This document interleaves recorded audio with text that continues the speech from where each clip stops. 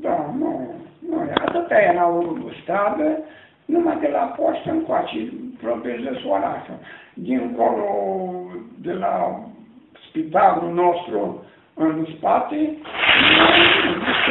și pe urmă s-a pus până la pod macadam l-a petuit. Dar asta prin anii 50. Dar între, între zona Gărnii și zona Dalului exista o stradă care să le lege? Păi da, erau străzile astea care sunt și acum. Da, nu, nu s-a făcut nimic ca stradă nouă, decât s-au făcut scările mici și apoi, cred că prin anii 70 s-au făcut scările mari. După anul 70. Încolo nu. Și mergea roată împrejur. De asta nu avem nici sistem de... Asta nu exista piață? Da, era piață, două piețe. Era piața din... Întâi a fost o singură piață în târg, aici în oraș. Că de bani era tot un fel de cartierul Gara. Nu, nu era. Oraș era atât. De la scări până aici. În, în, în unde sunt casele astea ale ceferiștilor. Deci unii vine spre Sadovenu, spre Liceu, Aleea. Atâta. Și aici au mai fost ultimele. Mai târziu s-au făcut al doilea rând de casă. Încolo atâta era orașul.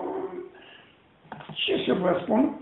Ștefan cel Mare de la poștă până la Casa de Cultură, aici a luat împrejur până la scări.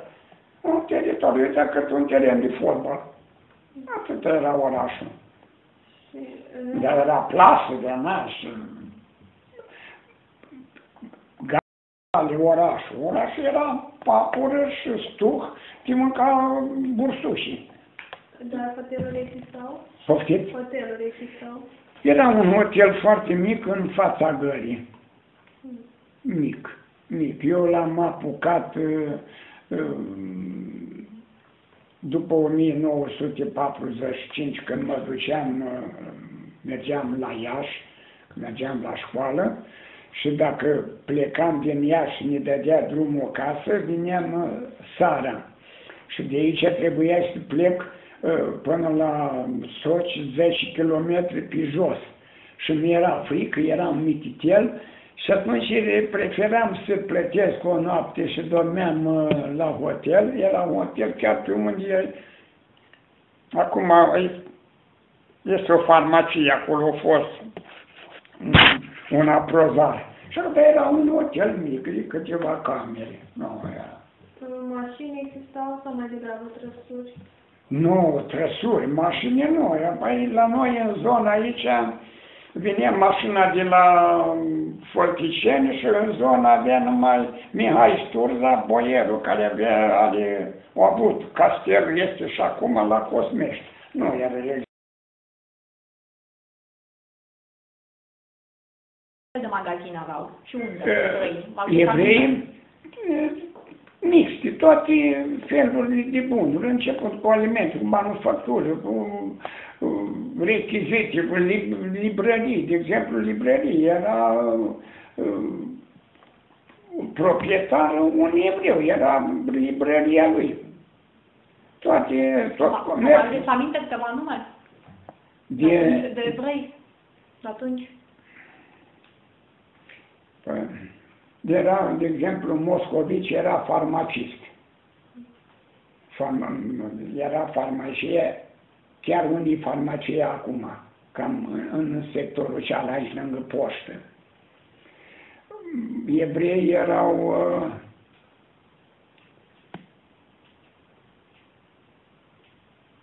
Ei, da, așa dacă... Da, mi-aduc aminte. Era cojocarul. Deși cojocarul era tot evreu. Erau Fischel, erau Marcu, am, am avut pe urmă un evreu care s-a mutat în Soț și a făcut prăvălie acolo, fiică și avea o fată cheamă Georgeta și era colegă cu noi, cum sei fricoși, înainte de a fi la școală, eu a făcut o prăvălie. Și nimic că noi eram copii. Școală n-aveau în uh, limba uh, maternă lor evreiască, dar uh, avea sinagoga, um, aici unde e blocul C5. Cum să vă spun eu?